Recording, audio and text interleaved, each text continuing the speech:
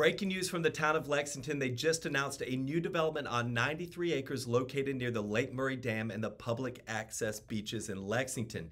The new development is being called Smallwood Cove and will include two hotels, a conference center, over a thousand single family homes, townhomes, condos, and retail space. It's expected to take 15 years and over 700 million. So, what do you think? Is this a good or bad thing for Lexington and Lake Murray?